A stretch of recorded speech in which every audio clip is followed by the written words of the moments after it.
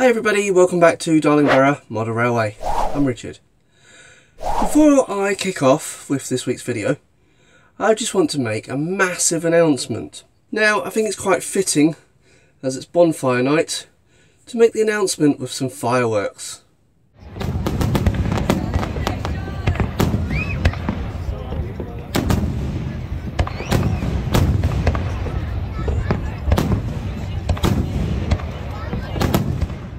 That's right, I've now hit over a hundred subscribers, which is absolutely amazing. So thank you very much and welcome to everyone who has subscribed to the channel. I hope you're still enjoying it as much as I am making the videos, standing in a freezing cold shed. Oh, at two o'clock in the morning. Don't forget if you haven't yet subscribed, click on the uh, subscribe button. Also click on the like button as well every video you watch. Just helps me spread the word a little bit. So thank you very much for that. Now if you remember in the video last week I mentioned the fact that I was reconsidering what to do with my Rocky Bridge section. I mentioned the fact that both of the tracks aren't actually at the right space apart so I was considering taking the track up and um, obviously redoing it. Now I want to say a massive thank you to Lee Borgie who has sent me a message and he said, as for the Rocky Bridge section problem, could you cut between the two tracks up the middle and reattach it with wood underneath at the correct distance? Then fill the gap with filler and ballast.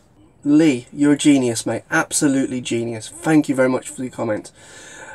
I have been sitting there working out whether I should just add some extra track and just kind of bodge it together or if I should bite the bullet and pull the track up.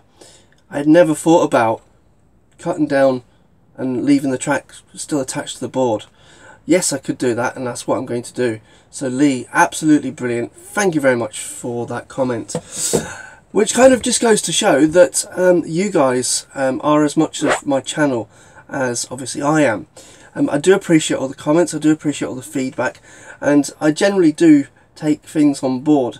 If you guys have got a, a really good suggestion, drop me a comment down below, or you can always leave me a comment using some of the um, social media channels up there. Um, I, I do respond to every single comment that I get on the YouTube. So yeah, so just leave me a comment and an email as well. So anyway, carrying on um, with Lee's uh, suggestion, what I'm going to do is I'm going to remove the Rocky Bridge section because obviously I can take it out um, and just basically cut it up. Slightly worrying, but at least it's not as worrying as pulling all the track up. The Rocky Bridge section was quite easy to remove from the layout. Basically as a standalone piece, all I needed to do was disconnect the tracks on each end and then simply lift it out of place.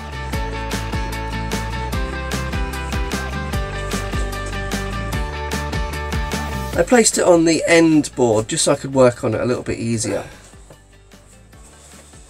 Oh. Now what I need to do is take these tracks up. But I'm not going to take the tracks up, I'm going to just cut along here and move the tracks while they're still on the ballast. I then realised I didn't actually have to remove both tracks, all I needed to do was remove the one at the rear.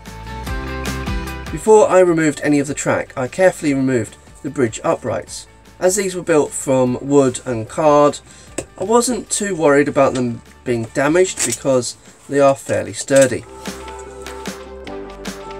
I then started to cut down the middle of both tracks. I wanted to separate both tracks so I could remove the rear one.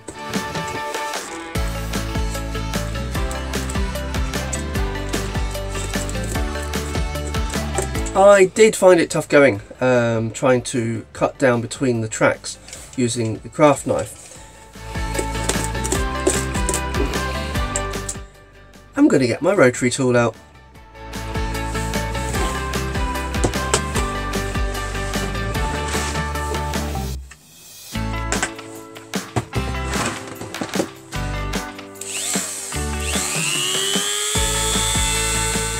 Once I changed tools and started using my rotary tool, it made very light work of the material underneath the track. I soon managed to cut down between both tracks and then started to remove the rear section. I then started to cut down into the cork underneath the track using a craft knife. Some of it was easier to cut away than other bits, simply because of the cork that I'd used. The industrial adhesive that I'd used to stick the cork down onto the cardboard really, really wasn't giving. So I started to hack away at it with my craft knife. Eventually, with cutting and slicing and just generally hacking away at it, I eventually managed to remove the rear track, ballast and all. So there, that's how it's come out. As you can see,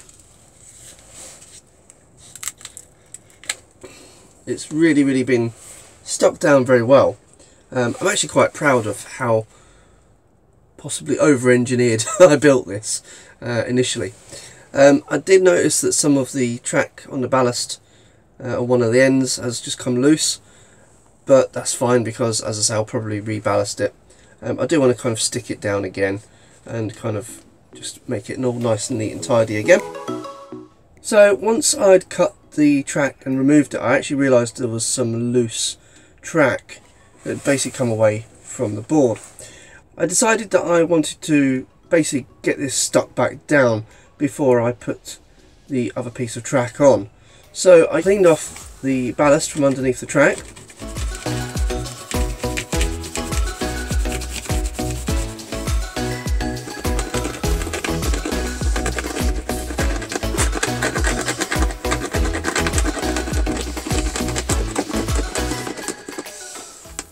and then applied a fairly generous smattering of the cork underneath, spread it out with my finger and then pushed the track back down so that it embedded into the cork.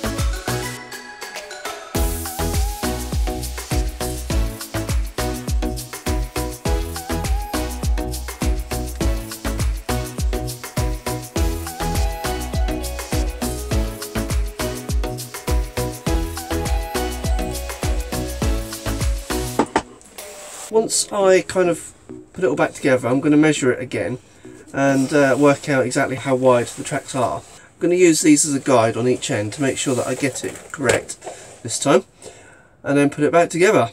Um, all good fun. So I'm going to leave it here at the moment. Two reasons. One, it's absolutely freezing in the shed and I need to go in and get a nice cup of tea and warm up a little bit.